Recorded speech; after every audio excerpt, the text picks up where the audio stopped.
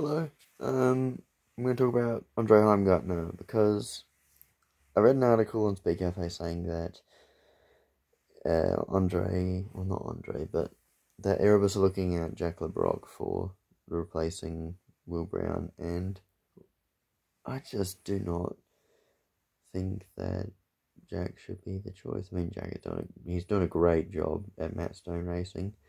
Um, I don't think they expected to be in their current position, but they obviously worked hard at it. Andre Heimgartner should be at Erebus fighting for a championship. I just don't understand why he think maybe he can't afford to buy out his contract or something. I don't imagine it'd be too expensive for him to do that, but and I, I know he wants like a multi-year deal and wants to be at one team for a long time, but you do have to make a successful career out of yourself so that you can have a successful later career. So it's annoying to think that one that a great driver is choosing not to be in a championship capable car. He's choosing to be in a podium car. And that just doesn't make a lot of sense to me. Um, of course, Andre is scoring a lot of podiums with BJR. He's doing a great job. Um, and he's been very impressive. Been a great replacement for Nick Percat um, at BJR. And um, I don't know. It's there's this it's just frustrating to frustrating that he's not an option or not being considered, and that those discussions aren't happening. Uh, so, like Jack Le Brocq's obviously got history at Erebus. Uh, but anyway, I'm, I'm making this video about Andre Heimgartner, so obviously Andre um, had a bit of a Jamie Whincup sort of time in the category when he first started. He was he came in with Super Black Racing, did the 2014 Bathurst 1000, and then in 2015 he was their main driver until he got booted out at the end of 2015, replaced with Chris Pither.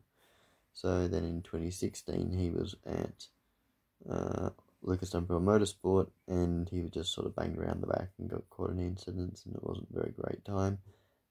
And then he had he had a year off.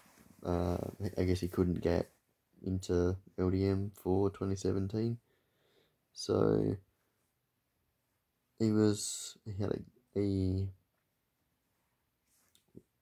he could have been he could have been a co-driver, but I guess nobody wanted him, and Brad Jones Racing had him as a backup. Um, and the story is, and well, the the tale is. It's not even a story or a tale. It's the facts. Uh, Ash Walsh was in a, a uh, sports car accident, something like that, and a GT accident, I think, and so Ash was out he wasn't able to drive the car. It was after Sandown. Uh, he drove at Sandown and then Andre came in for Bathurst and he did a great job. Um, they were running up there in the in the wet, doing a great job, and then they go to Gold Coast and they score a podium. Tim Slade and Andre, and so um, because of those performances, Andre got a comeback um, with Kelly Racing uh, after Todd Kelly retired. So in 2018, he was in a, he was a Nissan driver, and he was he was he was a, he was pretty decent in 2018 in the Nissan. Um, beating Simona is pretty much all he really needed to do to show that he could do it. Um, but also beating Michael Caruso and Rick Kelly at times. And at the end of the year, he got really good um, and started being the guy at Kelly Racing. So 2019 comes around, he gets his first podium, he gets um, what the front row start for um, the Sandown 500, um, and pretty much becomes their lead driver in 2019. 2020, the team scales down to two cars for Rick and Andre, and they switch to Mustangs, and Andre gets his first his first pole position. I think, it's his first pole position, and it's a couple podiums in the Mustang and does a great job. And then roll on 2021. Rick retires. David Reynolds comes in. Andre does a better job than Dave. And I mean, they're, they're pretty much equal, but maybe Andre beat Dave. So, and this uh, win from pole in the wet at Tailem Bend happened. And I think it was on the Saturday, so I missed out. I came in on the Sunday, so the, the day after Andre got the win from pole in the wet. And then it soon came about that he wasn't going to be at the team for 2022, which was a bit strange because Nick Percat made the move to go to Walkinshaw, and so once once that was clear, Brad Jones jumped on getting Andre as a solid uh, replacement, and Andre's been really good since then. His 2023 has been very impressive. Um, not quite as on song as 22, but maybe better. That he's just been racking up podiums this year solidly in the top 10 of the championship, where he wanted to be. I think he's currently sixth in the championship. There's not much more he can do. Um, supposedly, all uh, Chevys are pretty much equal. They've all got the same engines, they've all got the same components. They have to be. Um, this, I think maybe there are some bits that, that are different, like the way that the parts are made or something like that, or you know, fabrication, the way the way that that's all done might be different. The way the teams operate. Um, otherwise, you would see a bit more um, wildness in terms of results, but we just haven't seen that. We've seen the sort of the same sort of teams doing a really good job. Um,